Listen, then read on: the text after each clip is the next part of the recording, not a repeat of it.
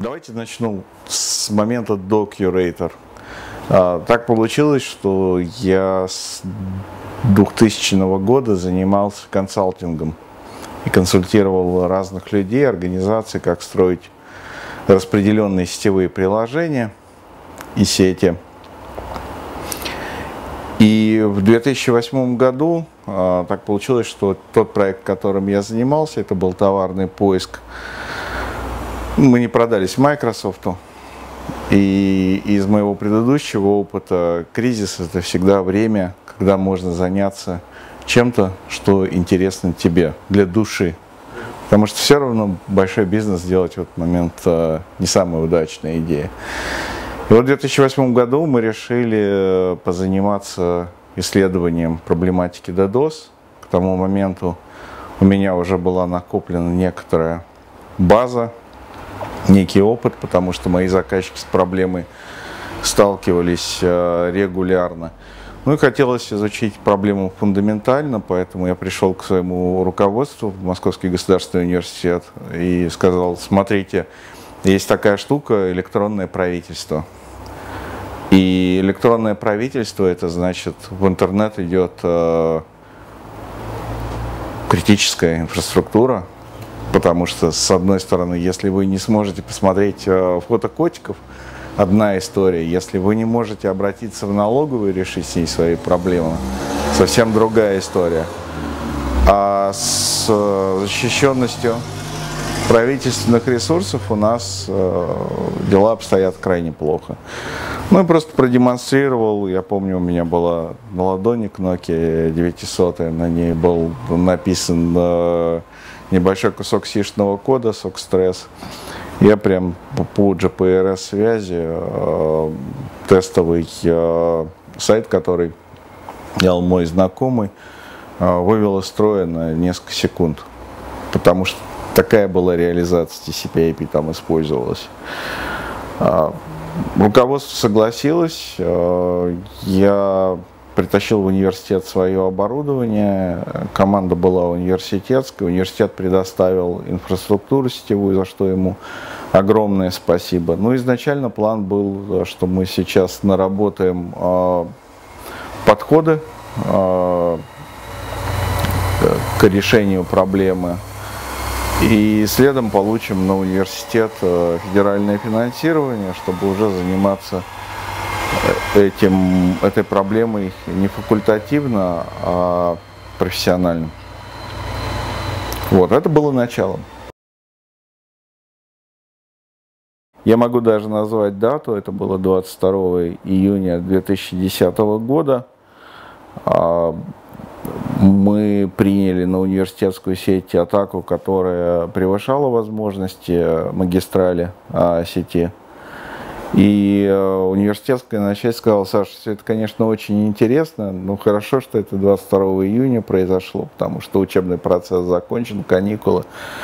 А в период, в период э, семестровый, э, то, конечно, мы не можем себе позволить, поэтому нужно что-то делать с проектом. Или находить финансирование, или закрывать его. Ну, то есть передвигать нашу площадку фильтрации сети университета. Но это был переломный момент, и я понял, что что-то с этим нужно делать. Ну и плюс ко всему, интересный факт от атаки, производительности сети не хватало, э, наш фильтр работал на десятые доли процента э, загруженности. Э, проигрывать я очень не люблю, Поэтому мы решили, я решил, что те накопленные средства, которые у меня есть, я просто вложу, построив следующий шаг. Это был, естественно, распределенной сети. Первый этап распределенной сети. Тогда мы поставили а, три точки присутствия в России, все в России. И запустились в коммерческую, то есть решение о создании компании возникло 22 июня. Меня по факту поставили перед выбором, либо мы закрываем проект, либо я переношу оборудование с университетской сети. Сделать это, не имея федерального финансирования, было невозможно. Поэтому я инвестировал собственные накопленные средства в то, чтобы построить распределенную сеть. Это было на первом этапе три площадки, все из них находились в России. И уже 1 сентября мы запустили эти площадки в эксплуатацию. Я тут улыбнусь и прокомментирую это следующим образом. Смотрите, а, со мной есть слайд, который гуляет а, на всех, практически в каждой презентации, которую я даю, в которой мы пытаемся сформулировать, как мы классифицируем DDoS-атаки. Это четыре уровня. А, транспортный уровень, уровень инфраструктуры сети, TCP IP endpoint, стек и уровень приложений. Начнем с самого первого уровня транспорта. Переполнение канала – самый э, простой и тривиальный способ и атаковать, и защищаться. Казалось бы, ну, тебе просто достаточно иметь эту полосу, да? В качестве контрпримера, э, потому что эта задача тривиальная, приведу следующую иллюстрацию. Реальная история с заказчиком. Заказчик располагается в крупном российском дата-центре. Дата-центр декларирует, что у него есть 600 гигабит внешней связности. Это действительно так, действительно присутствует набор интерфейсов физических емкостью 600 гигабит. Но на самом деле это не что-то а единое, это дискретные интерфейсы, а, по которым трафик распределяется по какой-то алгоритмике. Что контролирует эту алгоритмику? Это и низкоуровневые э, механики типа LACP, и высокоуровневые типа маршрутизации, например, BGP. И тут, как обычно, дьявол в деталях. Э, самые важные стыки межоператорские у этого дата-центра, они, естественно, и самые загруженные. Реальности хватило атаки слегка превышающий 30 гигабит в секунду для того, чтобы а, сделать а, нашего заказчика в этом дата-центре и все остальные ресурсы в этом дата-центре недоступными для самой важной части аудитории, для большинства аудитории. А, люблю приводить такой пример. Атака на полосу – это как удар кулаком в лицо. Больно, а, ощутимо сразу. Но стоит кулак распылить, и это уже не настолько ощутимо. Да, вы почувствуете, но вы это перенесете. Не случится нокдауна. А, нокдауна не случится, но как именно распределить трафик? Задача не такая тривиальная. Внутри сети там, где вы контролируете свои стыки, там, где вы контролируете механику посева по физике, ну, например, в LACP стыках, там все просто. Если мы выходим на уровень э, магистральной межоператорская связанность, тот самый протокол BGP, Border Gateway протокол, э, в текущей своей имплементации он больше похож на черную коробку, у которой э, есть метод управления. На самом деле только одна ниточка спас припент. А, и э, а, она работает совершенно неочевидным способом. А, почему? Потому что так устроен э, дизайн протокола BGP. Пытаюсь объяснить просто. BGP это стандартный э, distance vector протокол, казалось бы, но на самом деле он отражает себе не столь э, топологию сети, сколь э, материальные отношения э, между участниками сети. Э, так называемый local pref – это, по сути, и есть синтетическая метрика, которую операторы используют для того, чтобы банально, естественно, для любого бизнеса заработать больше денег. И local pref имеет существенно, существенно боль, Local Pref имеет более высокий приоритет, чем э, ваш единственный метод управления ASPAS. А, мы это прекрасно понимали еще в 2008 году, поэтому у нас появилась крайне интересная машинка, которую мы назвали внутри себя радаром Азимова. Машинка являлась собой, является собой ни, ни много ни мало модель, модель интернета, очередную модель интернета, которая моделирует связность сети на межоператорском уровне. Грубо говоря, она в состоянии решать задачу предсказания пути трафика из любой точки интернета до любой точки интернета. И это позволяет нам э, строить нашу сеть не эмпирически, как делают сейчас большинство операторов э, связи, а используя математическое моделирование, мы точно знаем, где нам нужно поставить следующую точку на карте, так, чтобы она была эффективной с технической точки зрения и с бизнесовой. Это только первый самый а, базовый уровень. Дальше, если двигаться вверх TCP-IP, стоит машина, стоит машина устаревшая, стоит машина при разработке которой использовались, э, не использовал, использовался неформальный, диз, э, неформальный подход, э, сдизайненный эмпирически, даже тот самый знаменитый алгоритм Нагля, растем линейно, падаем экспоненциально по скорости передачи. Он тоже был выведен на, на кончике пера чисто эмпирически. Наглю показалось, что так будет хорошо, и в принципе так было хорошо достаточно долгое время. Стоит машина устаревшая, имеющая кучу уязвимостей, которые тоже можно проэксплуатировать. Поэтому то, что нам пришлось дальше сделать, мы переизобрели для себя TCP-IP. Следующий уровень – это инфраструктура сети. Инфраструктура сети – это тот интеллект, который принимает решение о том, как именно обрабатывается и перенаправляется пакет.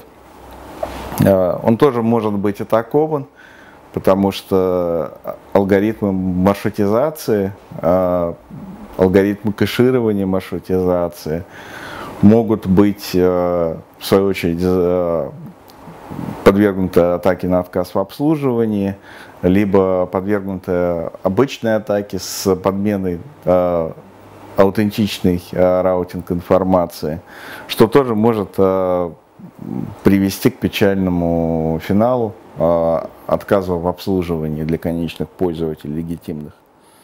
Если вы можете отправить э, пакет э, сетевому, сетевому оборудованию, которое то должно принять и как-то обработать, наверняка вы можете найти э, краеугольные случаи, которые заставят это оборудование э, тратить э, все свободное время процессорное на обработку ваших данных.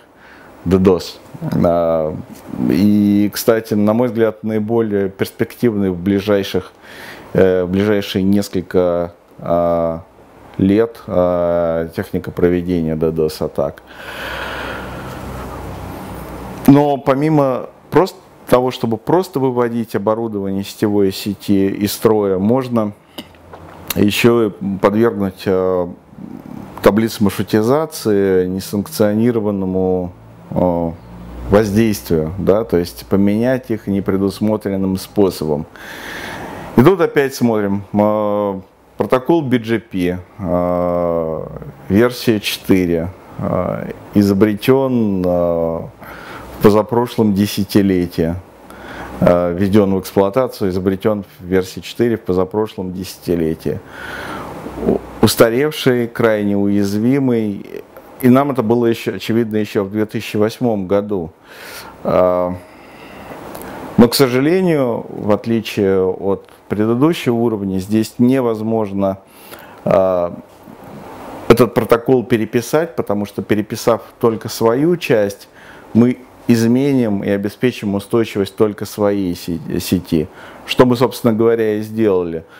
Но весь остальной интернет нам не подконтролен. Его мы можем либо мониторить э, на предмет э, злонамеренного воздействия, что мы, собственно говоря, и делаем для всех наших заказчиков, используя тут тот же самый радар. А, либо изменить этот интернет, что мы тоже сейчас делаем, а, и здесь есть единственный способ, а, которого я, я лично дико боялся и продолжаю бояться, потому что если вы хотите сделать а, новый интернет-стандарт, у вас есть только одна дорога, вы должны написать драфт этого стандарта, податься с ним в IETF, Internet Engineering Task Force – и убедить ITF э, и свою work-группу, и всех операторов связи, и инженеров, которые в ней работают, что вы делаете правильное дело, которое А решает проблему, Б делает это эффективно. Ну и последний уровень, application уровень, э, это уровень приложения. Э, приложениями у нас сейчас большинством сетевых приложений, абсолютным большинством, являются приложения, использующие HTTP. А, это не только веб, а очень много других приложений используют HTTP а, для своего транспорта. И здесь я приведу такую простую историю, которую я очень люблю рассказывать, потому что легко понять масштаб проблемы. В 2008 году у меня была очень простая и понятная идея. Чем отличается робот от, роб... от не робота? А, я считаю, что капча, а, капча является очень грубым инструментарием. Капча в Советском Союзе роботы решают капчу гораздо лучше, чем люди. Она раздражает меня лично, и в принципе при определенных подходах ее можно легко обойти, в том числе в полностью автоматическом формате.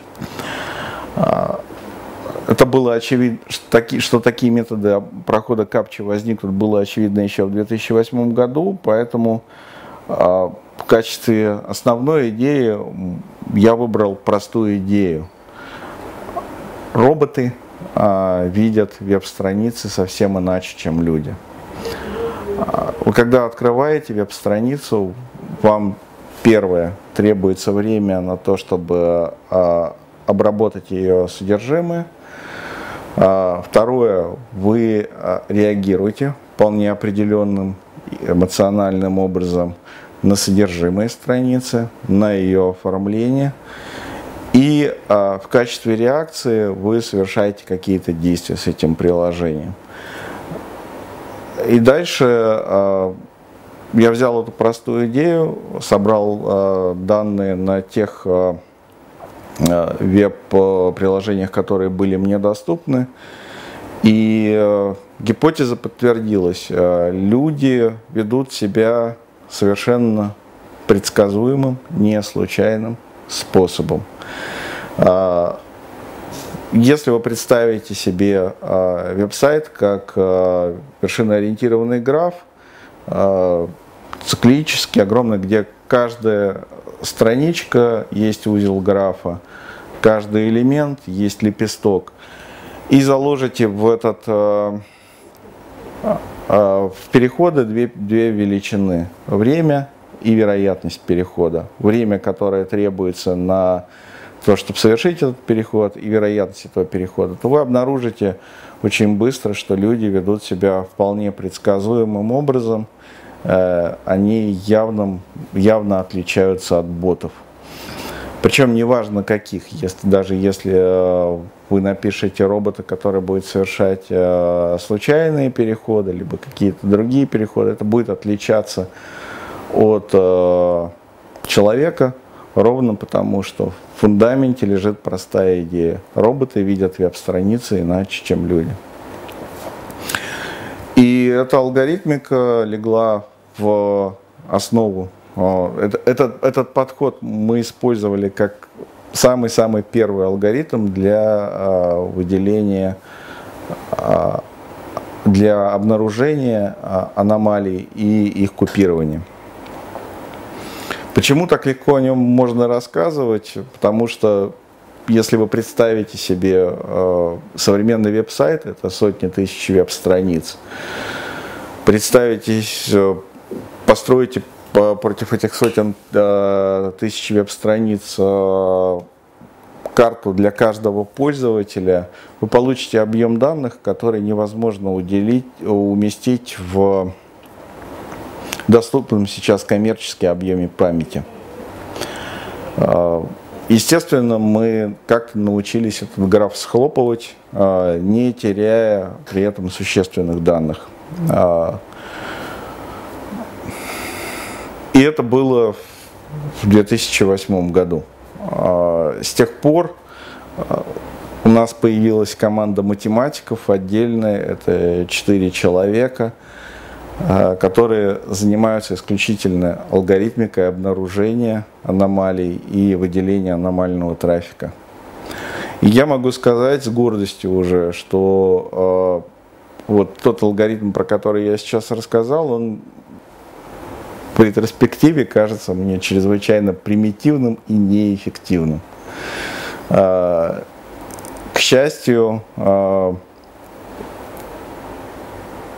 счастью, в нашей команде, наверное, с математикой у меня хуже всех.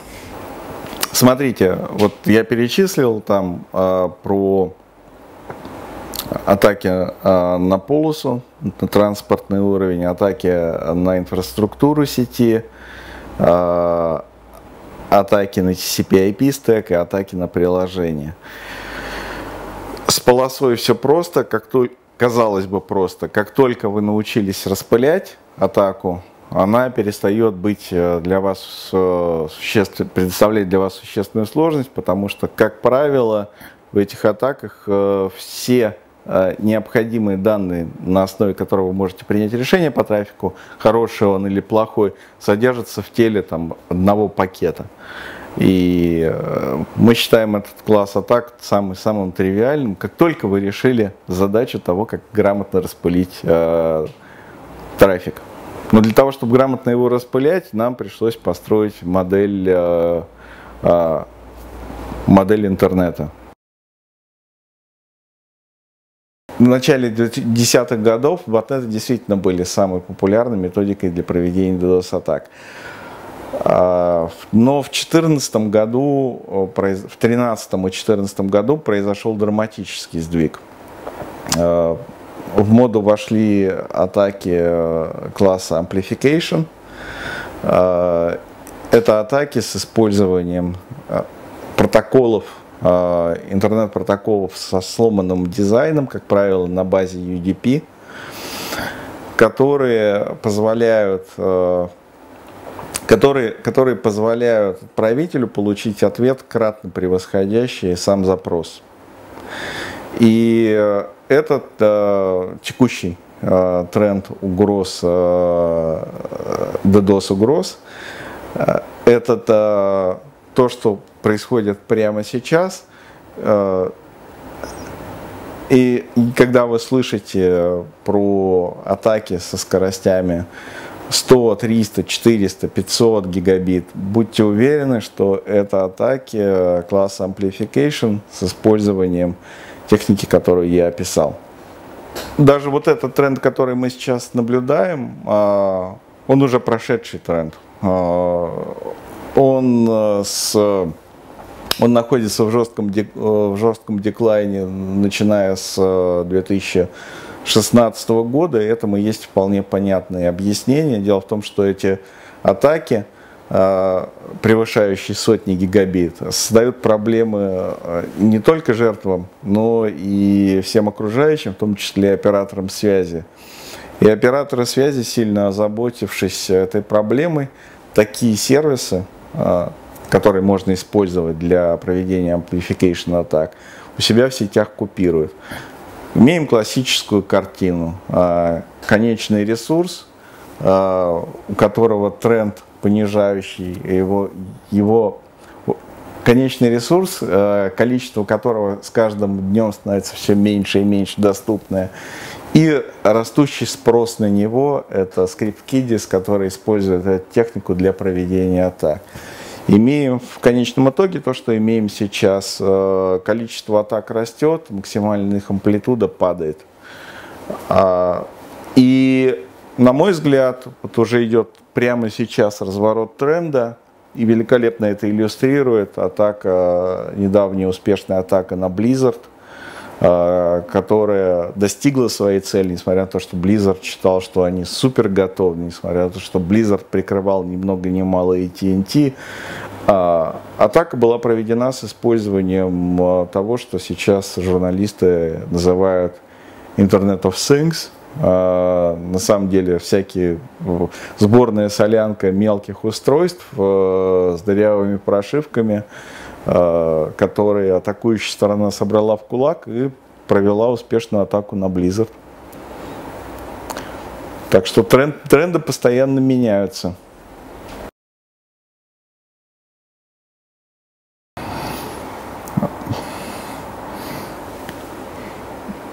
Одно только могу сказать, что мы компания инженерная, поэтому для нас э, важны э, инженеры и математики. Э, а еще лучше, если человек совмещает в себе и то, и другое. Минимальное требование у нас, человек должен математики не бояться.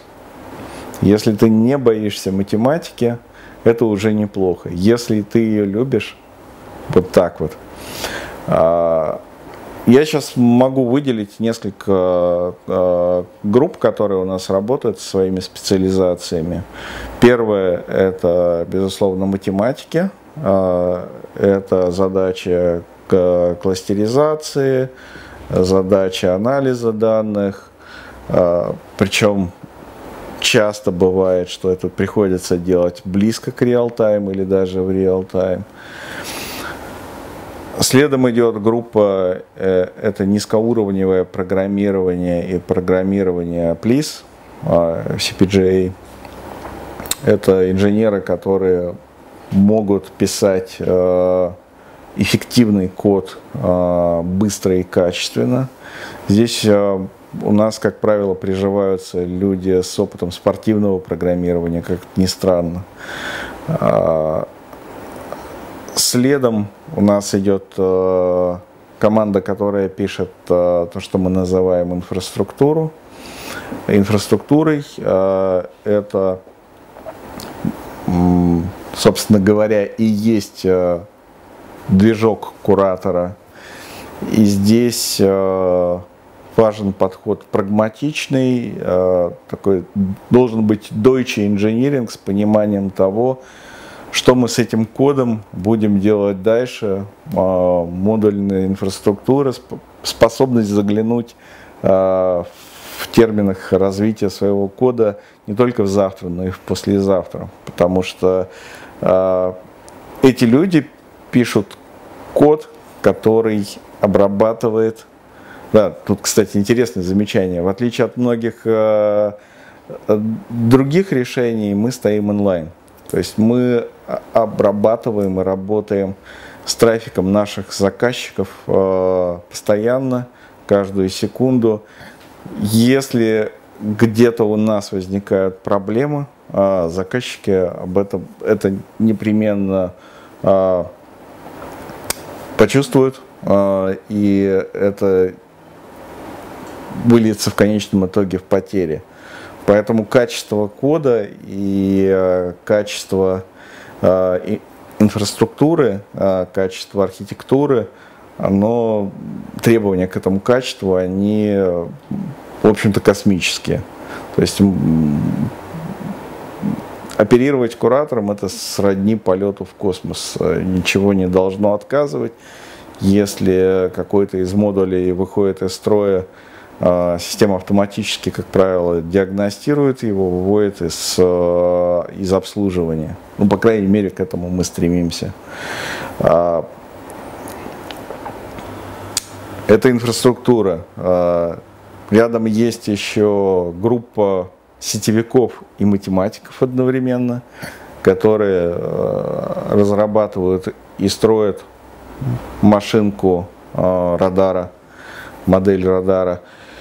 И по сути это такой внутренний продукт, у которого мы являемся единственным заказчиком. потому что именно эти люди говорят, где э, и когда зажгется следующая точка на глобусе, э, где мы запустим следующий центр очистки трафика. Хостинги и э, телекоммуникационные компании для нас это текущем положении дела однозначно партнеры. Мы просто не рассматриваем их как конкурентов. И, как я уже говорил, сама по себе проблематика, она на э, крайне динамичное поле игры. Мы, если вы посмотрите на ситуацию в ретроспективе, вот появление проблематики DDoS, появились, появилась проблема DDoS, появилась эффективная механика SynFlat, а, направленная на TCP/IP стек. Как отреагировала индустрия? А, Бернштейн придумал. А, их можно было включить прямо на хосте и эффективно решить проблему скорости синфлада росли. А, обычное оборудование, обычные сервера перестали справляться.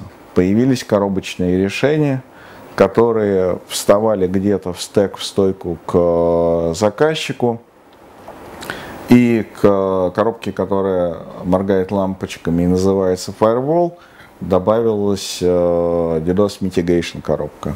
Скорости атак, э, пакет-рейт атак продолжал расти, и тот канал, который приходил в корпоративный дата-центр или в стойку заказчика, он перестал уже справляться. Э, рынок отреагировал на это следующим образом.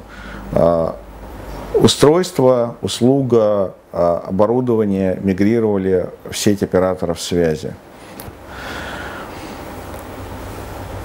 И это вот то состояние дел, в котором вы говорите, что мы одновременно с операторами связи являемся и, за, и э, партнерами, и конкурентами.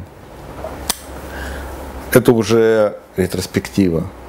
Скорости атак продолжали расти, и э, за последние десятилетия они выросли на порядок или даже порядки. Для примера можно сказать, э, что та атака, которая способна выдерживать э, такие атаки. Почему? Логика развития сети оператора связи, как выглядит бизнесовая логика. Бизнесовая логика выглядит так. А у меня есть заказчики, например, в городе Одинцово, великолепный подмосковный город. Дотяну-ка я туда волокно. Дотягивается волокно, ставится access level, подключаются заказчики. Заказчиков становится больше, туда тянется ядро сети, оттуда уходят лучи следующего level. Оператор а, связи всегда тянется за своей клиентской базой. Это встроенная логика развития сети. Оператор связи, развивая свою сеть, обязательно строит магистраль. Это волокно, это много волокна, это DVDM. А, и это, безусловно, дорого. Это очень дорого. Как в любом, а, любом деле, главное не расшибить лоб. Точка а, должна себя оправдывать, она должна быть расположена оптимально. Есть у нас коллеги, которые гонятся за количеством этих точек по миру. Это нужно четко понимать, что это не больше, чем маркетинг. На самом деле, э, имея э, кратное меньшее количество точек, э, покрытие сети мы имеем сравнимое. Это значит, что расходы на эксплуатацию здесь существенно ниже и так далее, и так далее. Ну вот, если сейчас эта информация открыта, я могу прям перечислить, э, вы в том же радаре можете э, прийти, сделать запрос про Curator и увидеть все наши точки присутствия. По операторам связи, по географии я перечислил Сан-Хосе, Даллас, Эшборн, Амстердам, Стокгольм, э, Россия, Россия, Казахстан, Гонконг Ну и в планах до конца года обязательно открыть точки присутствия в Токио и Сингапуре. Без них, к сожалению, наше присутствие в Юго-Восточном, в Юго-Восточной Азии не является полным. И на следующий год, наверное, будем смотреть в сторону Южной Америки. В 2011 году, да, приключилось интересное событие, которое наделало много шума в прессе, но на бизнесе на самом деле э, не сильно сказалось. Э, это были выборы, э, это были выборы парламентские в России. В принципе, мы понимали, что общество идет в, к выборам в достаточно нагретом состоянии что будут какие-то возмущения и выступления. А, нужно понимать, что вот такой состоявшийся факт, мы живем в информационном обществе. Возможность заблокировать распространение какой-либо информации, пусть даже и временно, в критический момент, когда общество проходит через э, какие-то э, критические точки свои, может сказаться на результате. Выборы отличный пример, поэтому мы к ним готовились, мы понимали, что что-то будет. За месяц до выборов у нас были отменены выходные, мы работали 7 дней в неделю, 24-часовое а, дежурство было. Но все прошло крайне спокойно, было все тихо, и Э, в воскресенье выборов я решил, раз все закончилось и все замечательно, я пошел с семьей в театр.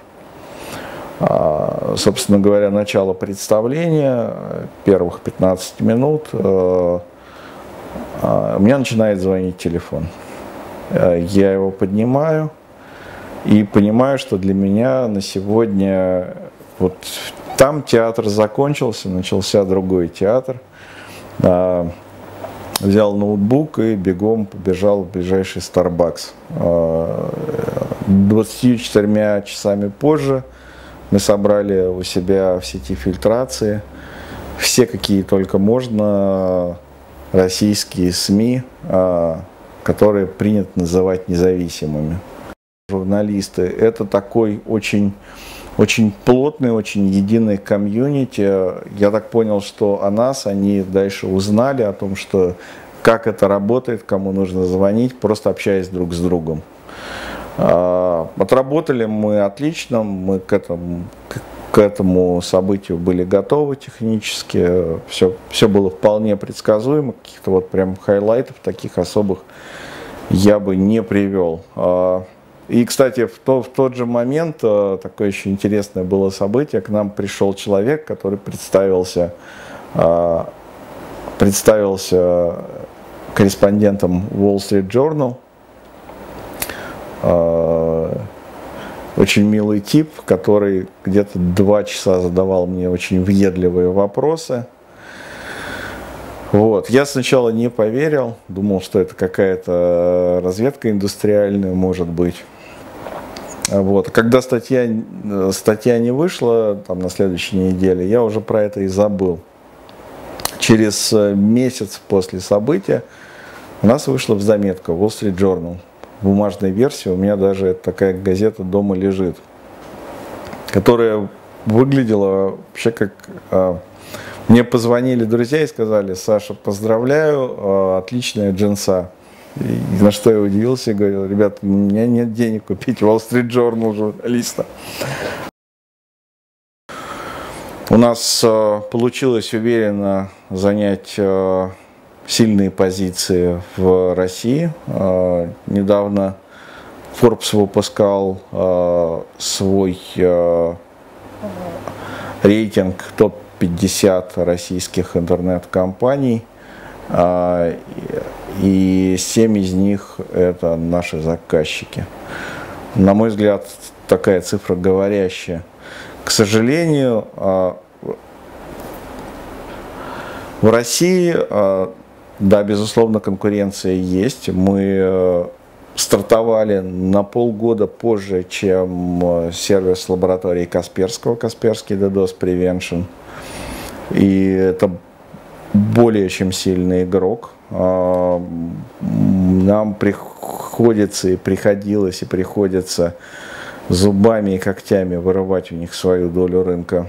А, безусловно, мы ощущаем в России присутствие Ростелекома. А, Ростелеком традиционно компания, которая обслуживает госзаказчиков и госкорпорации, но имея уже готовое под этих заказчиков оборудование, инфраструктуру, вполне успешно а, предоставляет его коммерческим заказчикам, мы их тоже ощущаем. И нам а, приходится прикладывать усилия, чтобы а, получать заказчиков именно к себе на сеть, а не на сеть Ростелекома. Потому что у операторов связи, безусловно, есть преимущество. У них заказчик к их сети, как правило, уже подключен. Также есть огромное количество стартапов, причем ситуация эта не меняется на протяжении последних, наверное, а, а, лет семи точно. Я помню, что в 2010 году, когда мы стартовали, я практически каждый месяц, а иногда и несколько раз за месяц слышал про компанию, которая выходит на, рын на рынок этих услуг за рубежом. В России тоже стартапов много. За год стартует минимум одна, а чаще всего две компании, которые э, занимаются, а, а, выходят на рынок с сервисом защиты от DDoS. Поэтому на лаврах э, здесь нам почивать э, просто никак не можно, однозначно.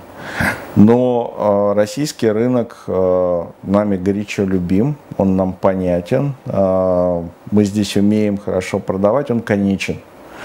И вот его границы мы почувствовали в этом году. Именно мы предсказуемо почувствовали эти границы. Именно поэтому мы начали нашу международную экспансию. В России ситуация очень похожа на э, международную ситуацию, но только в миниатюре. Э, и э, есть традиционно как бы несколько классов э, продуктов. И, как я уже говорил про эволюцию, сначала была коробка, которая стояла у заказчика в стойке, потом она стояла у оператора, потом появились облака. Короб, Коробочные решения традиционно это Arbor и Radware, а, и, наверное, еще китайский NS Focus. Есть куча мелких игроков, но это тройка лидеров.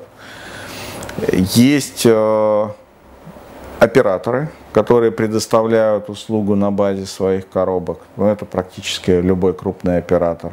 И Level 3, и Deutsche Telekom, и TI, и так далее, и так далее.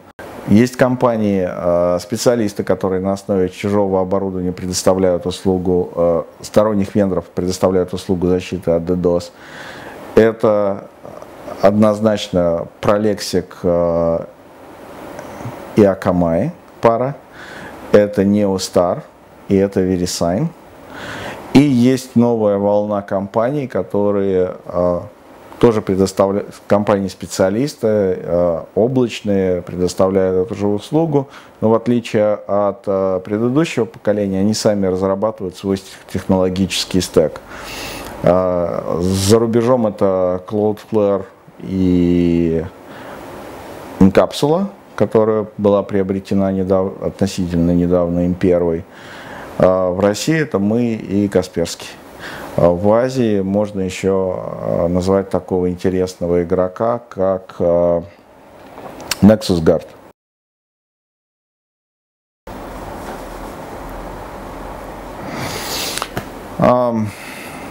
Давайте я, наверное, вот такую историю расскажу.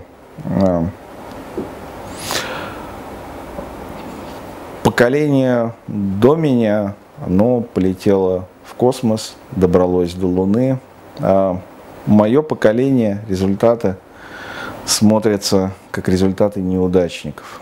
Ну, мы построили интернет, а, существенный кусок а, российского интернета а, Я тоже принимал в этом участие с самого старта, еще до появления МСКХ.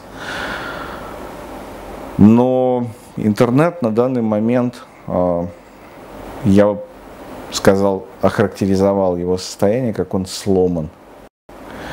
Его очень легко сломать и очень легко манипулировать, неважно, будь то преступник, а, государство отдельно взятое, либо политический блок. На мой взгляд, с точки зрения именно эволюции человека, ситуация человечества, ситуация абсолютно недопустимая. А, интернет – это новые медиа, это наш коллективный разум. А, я очень не хочу, чтобы человечество сошло с ума. Опять. А, поэтому его нужно срочно, срочно починить. Чем скорее, тем лучше.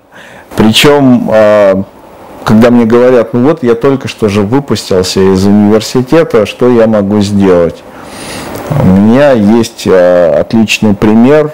Это наш интерн Женя Богомазов, а, который до сих пор учится в Московском государственном университете, факультет ВМК. Женя пришел к нам как практикант на лето, а сейчас является автором существенной части того драфта э, изменений в протокол BGP. А,